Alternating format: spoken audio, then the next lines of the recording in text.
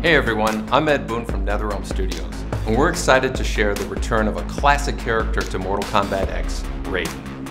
Raiden's been with Mortal Kombat from the very beginning, and we've had a lot of fun updating him for MKX. And today we're going to give you a taste of all three of his character variations. As the Guardian of Earthrealm, Raiden has a long history of conflict with Outworld, so it's only natural that he face off against its current Emperor, Kotal Khan.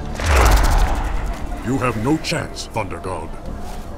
Thunder blots out the sun. Temporarily. Fight. The Thunder God variation enhances Raiden's lightning attacks, allowing him to string together longer combos and do more damage.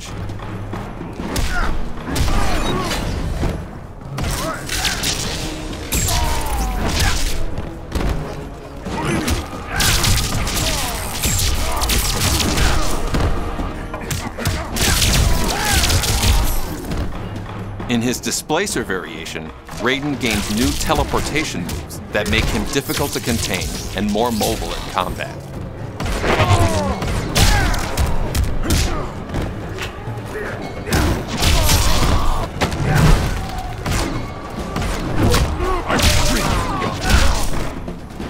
And finally, Stormlord Raiden can create lightning traps with wide areas of effect that allow him to control the battlefield. Right.